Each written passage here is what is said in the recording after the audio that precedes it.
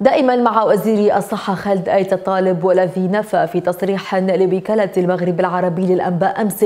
نفى وجود بؤرة وبائية لفيروس كورونا بحي بالدار البيضاء مؤكدا تعليق الرخص الإدارية بجميع المؤسسات والمصالح التابعة لمختلف المستشفيات والمراكز الصحية. سلمى غزالية في المتابعة.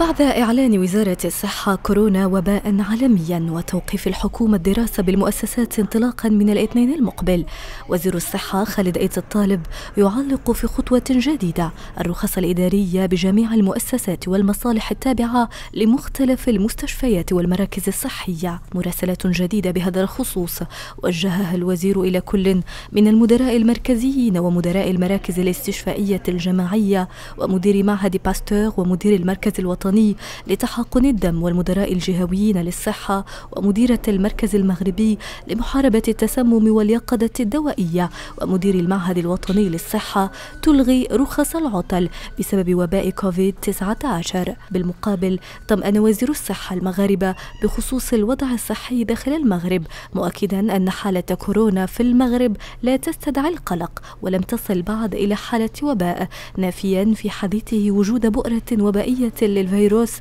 بمدينة الدار البيضاء مؤكدا أن الوضع متحكم فيه وتحت المراقبة.